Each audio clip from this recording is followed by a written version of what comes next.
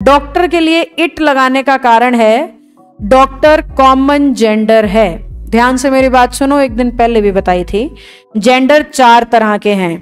पहला feminine female के लिए शी लगाते हो।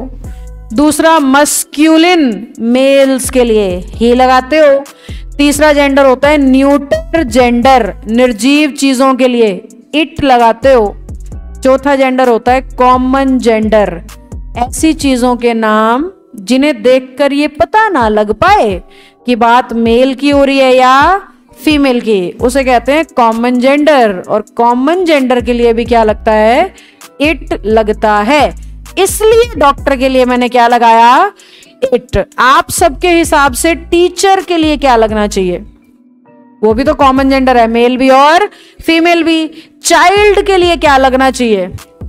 फिर से कॉमन जेंडर है। बेबी के लिए क्या लगना चाहिए? इट समझ में आई बात? तो जहाँ पे आपका कॉमन जेंडर आ जाए, आप उसके लिए हमेशा क्या लगाओगे? इट एक बात और भी है यहाँ जो मैंने गलती करते देखा है बच्चों को।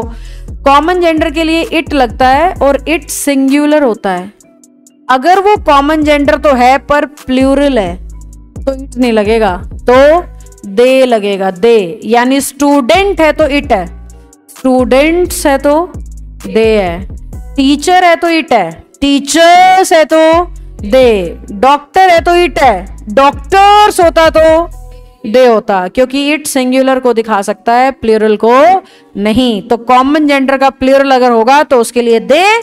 कॉमन जेंडर अगर सिंगुलर होगा तो उसके लिए इट रख लोगे क्या याद? श्योर हो?